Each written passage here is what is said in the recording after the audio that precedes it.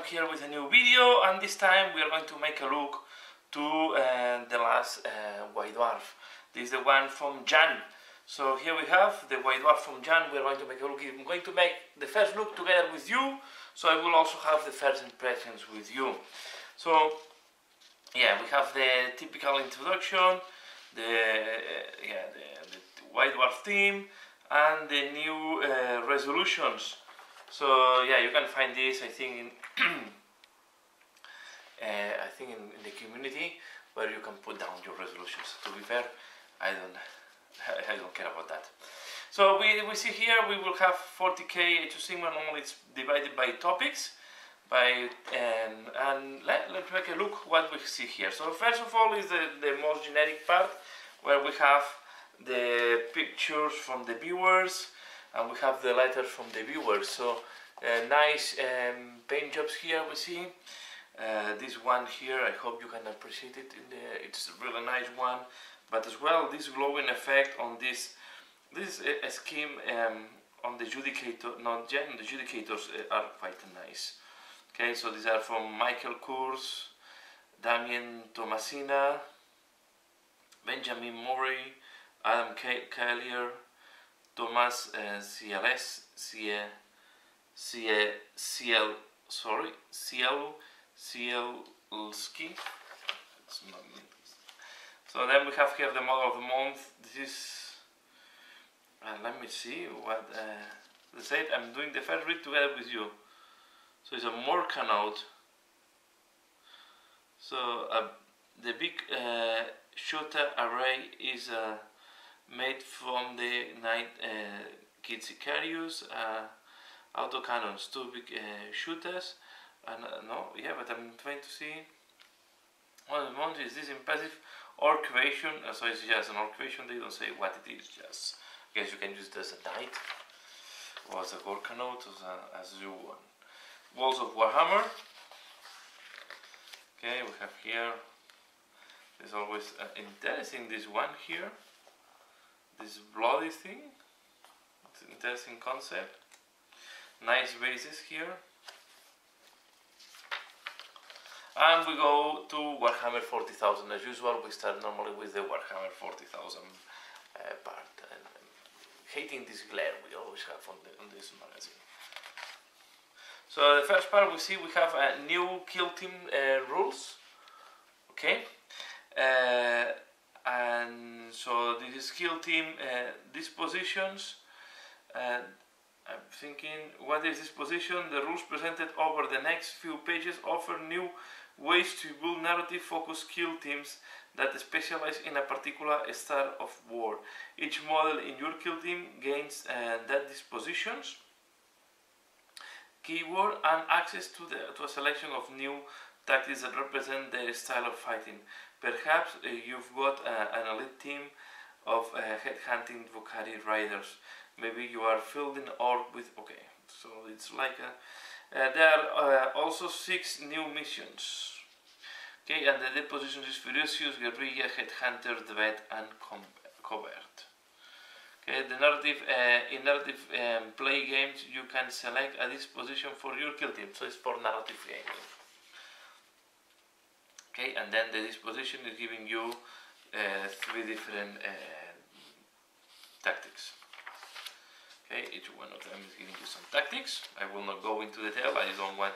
And then we have uh, new missions. These are narrative missions. It's nice that we always have new new things new um, uh, material in the White Dwarf for our games. So and it's good that they uh, diverse between the different games Okay, I will not uh, read all. Then we have uh, Last of the Silent Kings. What is this? Last of the Silent Kings looks something Necron. Okay. Urban Battlefield. Then we, they talk about the Urban Battlefield. This is the Galactic War Zones. And as usual, so we have seen different um, paint schemes and bases for different uh, uh, war zones. So this is the one for urban, okay, or cityfied. It's quite, yeah, it's uh, always uh, it's nice to see different schemes, different colors, and how to adapt your armies to different uh, war zones. So in case you want to adapt them. Uh, here we see this one is quite curious. So they are using this is a Mechanicum one, but I think this is from the yeah, I like this color scheme from the Mechanicum. So this is quite nice and, interesting color schemes here. So I guess the next one is just a narrative part. Yeah, it's a narrative thing. Okay. Uh, we go to the Age of Sigmar. Okay, and we have the Red Prospect, what is a fiction, so it means that it's a, a narrative as well. And then here we have Skies of Slaughter. Remember in the previous magazine we have uh, the game of uh, of um, sky fighting. And here we have more rules. We have more scenarios. Okay. You see we have more scenarios. Since they are like delivering a mini game between the, the white dwarf. And then we have uh, also rules for campaigns and we even have here uh, the rules uh, more more um, miniatures to be able to play. So we have um, all the most of the flying creatures, so the Lord Celestant, the, the Bacon's War Templar, the Battle Mage, the Freeguild General, of course on on, on Griffon. We have uh, yeah the the Sorcerers on Black Dragon, the Dreadlord on Black Dragon, Akhelian Leviathan, Achelia Allopex. We have the Phoenixes, uh, we have here the, yeah, this is also the phoenixes with the rider on top. We have the uh, ships, so really there is a lot of, a lot of, of, of um, new, it's quite curious all this because there is a lot here, right? So of course the they, they have the zone, uh, the Terrorgheist is also flying. Here we see terror haze is here. Okay. Okay. And then we go to rules engagement. Again, um, this is a quite um, common topic in, in, in the White Dwarfs. And we go to the tale of the four warlords. So let's see what they are going to do now. So I see that uh, he's adding, the one doing uh, Stormcast is adding more, um, uh, adding um, heroes from the Sacrosanct. So he's adding the evocators on the the Celestial Dracolines He's adding this guy, uh, I guess he's adding the generic one, the, yeah, the Lord Arcanum Taurion, or Tauralon, sorry. And uh, is this, after reading the realm of silver, I like the idea of painting them. No, this is the same as on top, so he's not adding a Lord Arcanum with that. He's having now 2,700 points. Adding here we have the Lord uh, Arcanum on uh, Tauralon. So he has two Lord Arcanums and three Incantors.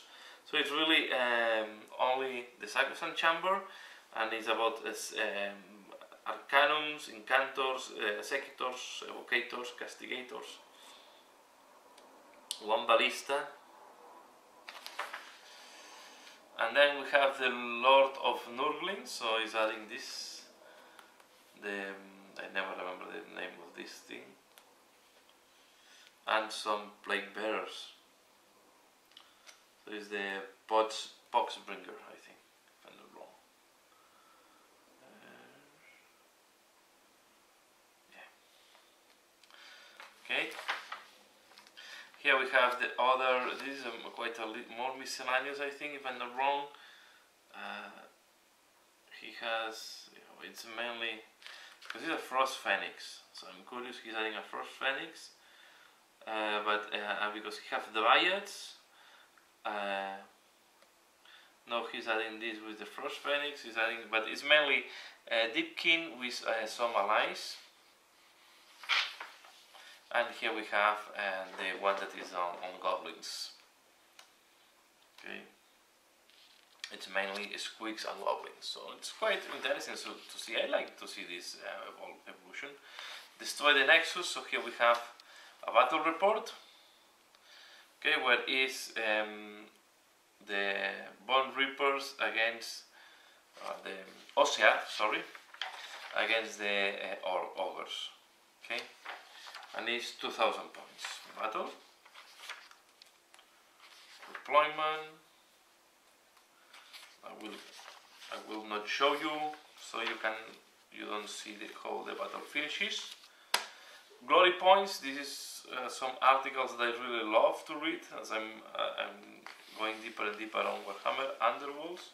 So very curious to see what is this. I love the paint job on this troll. So very curious to see what they, they what they will explain in this number. Then we have a fiction. Okay, we have a history based on Beastgrave.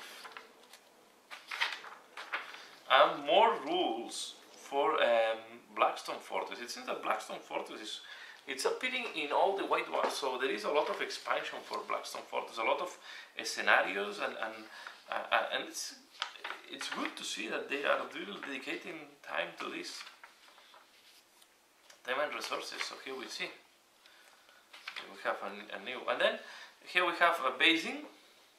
Okay, I've been asked to do a tutorial on this one, so I will do a tutorial as well in, in my channel.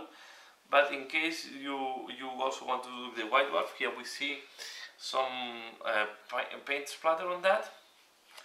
I also love the paint job on these things. Okay, and this is mainly a master class on basing, right? It's uh, it's going to the next level. This one is very nicely done. I love this one. This really what we have seen at the beginning. How to make the basing, then uh, work with the glowing. Okay, you see also adding to the plastic bases to make them even more interesting, adding more texture. New year, new army. This is about collecting. Okay, I have enough army, so I don't think I will go for another one. Think this year should be more focused for me. And then at the end we have the Middle Earth, so this is a terrain showcase. And this terrain looks, wow, amazing. And this is something that we have not seen for long in Games Workshop, that is using other materials that are not from Games Workshop to do terrain. This is very interesting. Think that this is very interesting stuff. And finally we have Blood Bowl. Okay. So this is about classic plays. So we have the Lizardman against Skaven. And inside of the studio so here we can see what they are playing and here is what I was telling you uh, Warhammer resolutions. So here you can cross. Is, is a way for you to follow up if you are delivering what you want. So it's you say two points per monthly uh, challenge completed. Yeah you have to do a hero a unit a monster okay 10 points for completing all 12 2 points for each set completed throughout the year 1 1 hero 1 unit and 1 monster. And 1 point for each bonus hero unit monster you completed. Okay but I think at the end of the day you will have too many heroes here and too many monsters or vehicles. I guess you should paint only one of them I guess so. I guess you only need, the, the idea is that you only paint one of them. It's up to everybody. Okay? And that's all. So this is what you find in the White Dwarf. Let me see if there is any tip for the next never mentioned issues. Things sometimes here they put exclusive subscriber copies. Ultimate. Yeah, next month Darkbags Iron Sands. So we are going to have something about um, this sounds like orcs. So this is the issue of January 2020. I hope you have enjoyed this video. Please give a like if you have enjoyed the video. Uh, share if you think other people can be interested in what is in the weather of Jan 2020. And as usual, thanks a lot for watching and see you again later. Bye.